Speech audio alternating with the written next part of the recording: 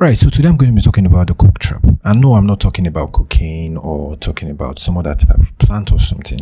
I'm talking about a bottle of Coca Cola.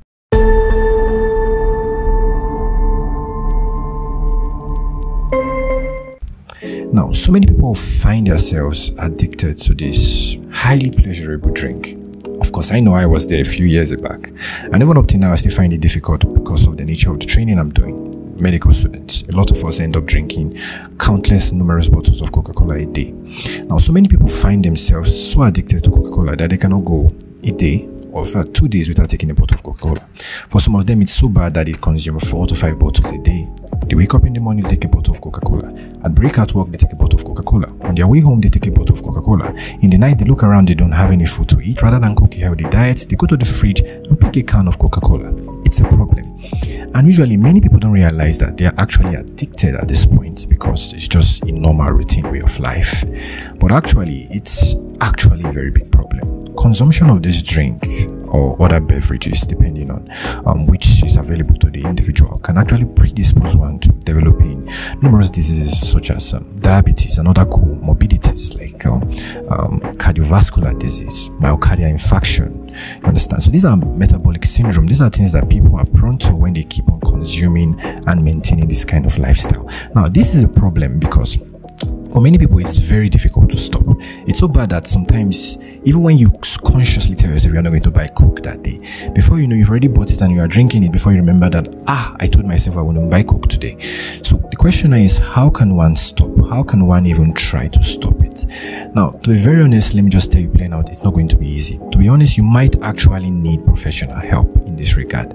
But then, depending on how strong your zeal and desire to stop is and to maintain a healthy diet, you could change your diet pattern entirely. You could see a dietitian who give you a new diet pattern and, and that would assist you. you carry fruits in your bag when you are going to work. So that anytime you feel hungry or something, rather pick up on the fruit rather than walk over to go and buy a bottle of Coke. Another strategy a number of people I know do is that they tend not to carry um, cash or their credit cards with them. It's risky because you don't know whether you will need money for something.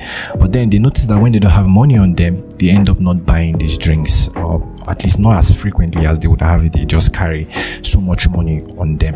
So another thing that people also do is that they get accountability partners who are going to keep them in check. So anytime these people see them actually going or making an attempt to buy some of these drinks or beverages usually maybe they are close friends who they know um, it's always going to be around them. These people are going to um, talk to them and guide them and remind them of maybe the, um, the, challenge or the goal that they decided to keep to.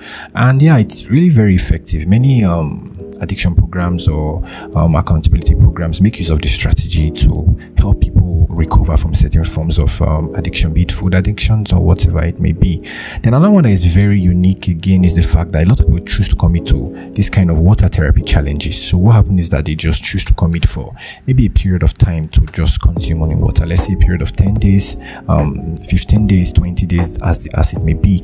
And during this period, these people consume nothing other than water. And um, of course, you if you try it, you see there's this kind of rewarding feeling that you get if you're actually able to commit and um, actually finish up some of these programs.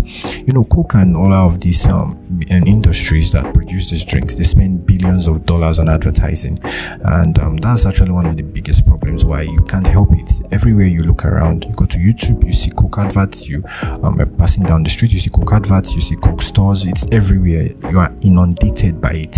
So it's just something you just have to get used to, and you just find a way to discipline yourself. Of course, it's almost impossible to tell you not to drink a bottle of Coke, but then if you're drinking, let's say, a bottle in a week, or taking a bottle in three days, or taking a bottle in a day, that might even be understandable because there's a guideline daily amount, the GDA that you're expected to take. But so many people don't look at that. All we just do is know that we are thirsty and we buy a bottle of Coke. I don't even know if I, living here now, I'm still going to go and buy a bottle of Coke as I'm leaving, which is why we have to train ourselves and not to fall into the Coke trap. All right, I hope you've learned something today. But um, if you have any questions, you could just drop them in the comment section and I'll point you in the right directions and I will give you put a link in the description to where you can actually get professional help if you have any of these issues. And um, hopefully, I hope um, you'll be able to live uh, a healthier and, of course, um, um, more fulfilling life. All right, see you in the next video.